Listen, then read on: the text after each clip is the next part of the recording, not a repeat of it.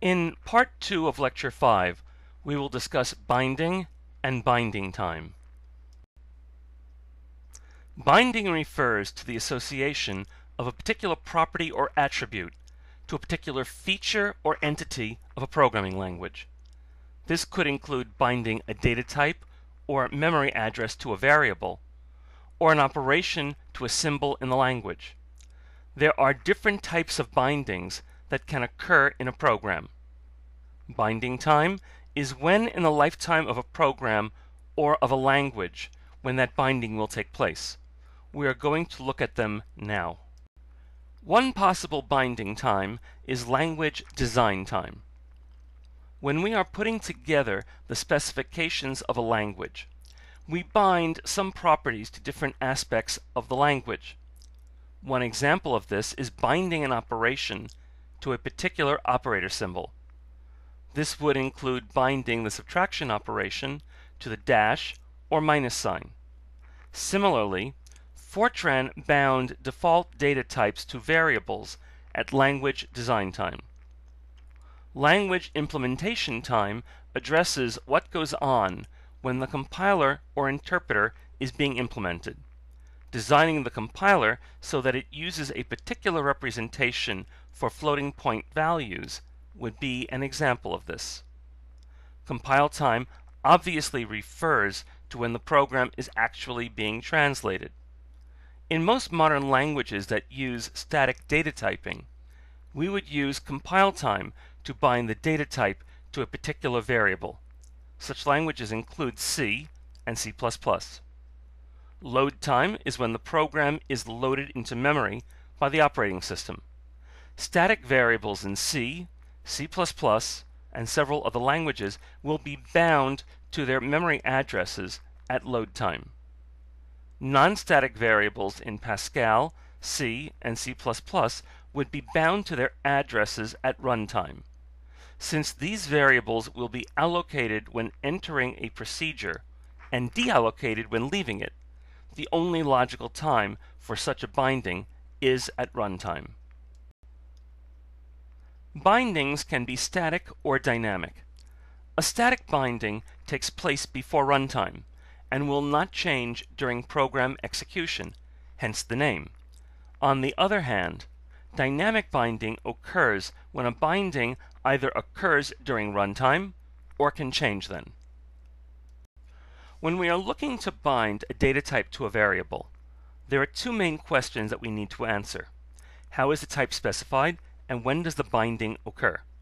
There are two choices for how to specify the binding. It can be done statically or dynamically. This is significant and not just because of when the binding occurs. Static type binding is for the life of the program's execution, while dynamic type binding can change and usually will change. Dynamic binding occurs when the variable is assigned a value of a particular data type but there are two possibilities for how the binding can will be accomplished. It can be done explicitly or implicitly. Explicit declarations are what we see in C, C++, and Java. There is a formal declaration that appears in the program, either appearing as the variable is first assigned value, or in a separate statement that is either at the top of the procedure or somewhere before it is first used. Implicit declarations use a default mechanism. The data type is determined by some association between the variable's name and its type. For example, in Fortran, variables beginning with the letters I, J, K, L, M, and N are integers, unless they are declared explicitly while variables whose name begin with other letters are real, unless declared explicitly. Similarly, the special character in front of a variable's name in Perl determines if it is a scalar, an array, or a hash or associative array. Implicit declarations carry the benefit of being more writable, but they can lead to reliability problems if not used properly and if not properly tested. Type inference is a way of determining the type for a variable or expression based on other values from which it is assigned, or from other values with which it will be used. In C Sharp, a variable can be declared using the reserved word var, and then including an initial value. This value is used to infer the type of the variable. Although this may seem a lot like how dynamically typed variables have their initial data type set, this is different. These variables in C Sharp are statically typed. Whatever type is inferred by the initial value is the data type that they are stuck with through the life of the program. Type inference is also used in more recent versions of Visual Basic and in ML, Haskell, and F Sharp. While ML uses static typing, it can infer data type if the interpretation of type is unambiguous. In the example shown here, we see in the original definition that the two parameters, length and width, are both integers, as is the result area. But I don't have to write it this way. I can omit the type of both parameters if area's type is declared as integer. I can leave out the type for area and width if length's type is integer, and I can leave out the type for area and length if width's type is integer. But I can't leave out all three types because I would not have anything to use when I try to infer their data types.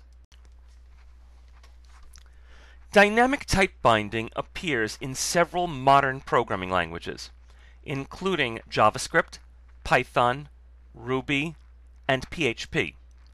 We specify the type of a variable through an assignment statement. The variable takes on the type of the value assigned to it. In the example shown here, we see that we can set JavaScript as a real value or as an array.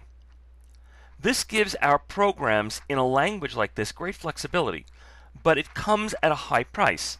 Dynamic type checking slows down the execution of the program and because dynamic type binding makes it difficult to write a compiler as opposed to an interpreter, the use of interpreters slowed down the execution as well. Lastly, it also makes it more difficult to find type-related errors.